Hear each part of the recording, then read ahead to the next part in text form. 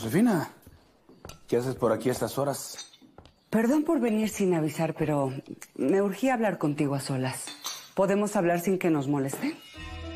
Claro. Ya todo el personal se fue. ¿No ves la hora? Dime, ¿qué se te ofrece? Bueno, pues aquí estamos arrancando el día. Ahorita me están poniendo el bigote, terminando de caracterizar para interpretar a Vicente. Y pues espero que hoy me acompañen un día con Enoch. Ahorita los veo en el set. ¿Sale?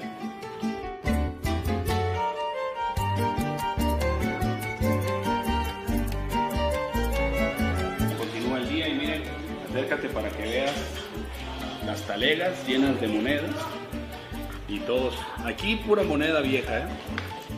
puros doblones por si se les antojan. Tenemos para dar y repartir. Son cosas que se sienten, futuro suegro. Desde el momento en que la vi, en el momento en que la escuché hablar, supe que ella era la madre de mis hijos. ¿Ya tienes el anillo de compromiso? Digo, porque mi hija siempre ha soñado con tener una gran boda, así con pompa, como son en la nobleza. Y así será. Los voy a sorprender con el anillo. Más o menos al día me cambio 12 veces para hacer 15 cenas en promedio y después de esta escena cortamos a comer. ¿Cómo que rechazaste el anillo que te dio el marqués? Pues ¿qué tienes en la cabeza? Ay, papá, no le acepté el anillo porque no me quedó. ¿Cómo es posible que mi futuro esposo no conozca el tamaño de mis dedos? Ay, que ya cuando se casen él conocerá la medida de tus dedos y te comprará muchos anillos. Pero ahora te tienes que casar. No entiendes. Si Francisco de verdad me quiere, va a llegar con el anillo indicado. Hija, ¿cómo que rechazaste el anillo que te dio el marqués? Pues ¿qué tienes en la cabeza? Ay, papá, no le acepté el anillo porque no me quedó.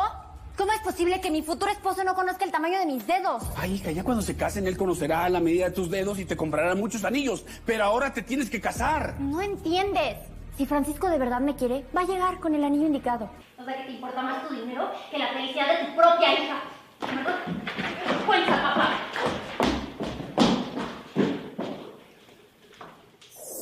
O sea que te importa más tu dinero que la felicidad de tu propia hija. De verdad, qué vergüenza, papá.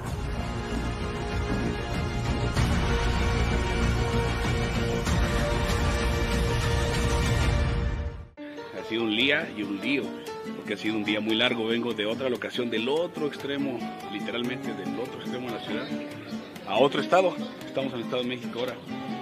Y bueno, hoy vamos a grabar en esta maravillosa locación. Ahorita que yo me vaya, pues seguramente harán un paneo y verán lo que queda de una vieja hacienda, de las haciendas coloniales, porque todos estos son campos de cultivo. Y ahorita la ciudad se los tragó, pero aún quedan vestigios. Vean qué bonita arquitectura, aunque se ve enlamada por el tiempo, pero es una arquitectura que está viva y presente.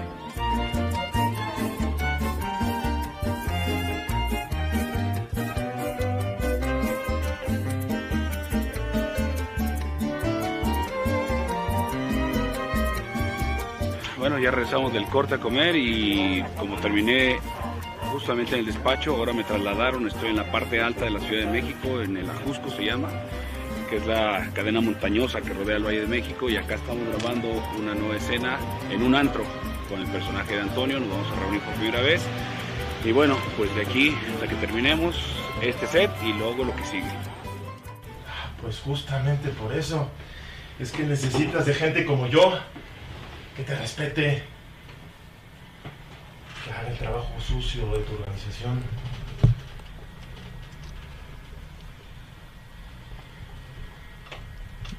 Son muy buenos. Adelante. Justamente por eso necesitas gente como yo, que te respete, que haga el trabajo sucio de tu organización.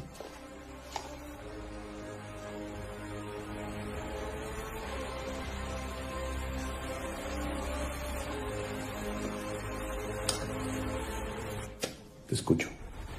Mira, si me pagas bien, puedo poner este local a tu servicio. Hay que explicarle a la gente. ¿no? Se dice No arma ¿eh? caliente cuando el arma ya tiene el cartucho arriba, que aunque sean de salva, hay riesgo de quemaduras. Entonces, por eso se advierte a todo el mundo.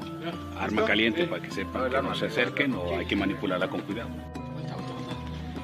¡Eh! ¿A dónde vas, maldita rata? ¿Eh? ¡Dale! ¡Sal por el dinero! ¿No venías por él? ¡No va a crecer! ¡Asómate! ¡Ven por el dinero!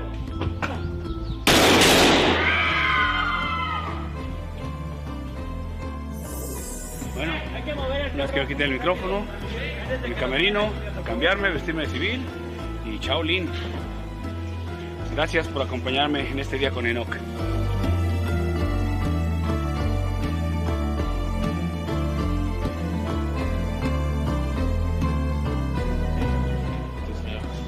Gracias, nos vemos, nos vemos, no se decepcionen, era falso.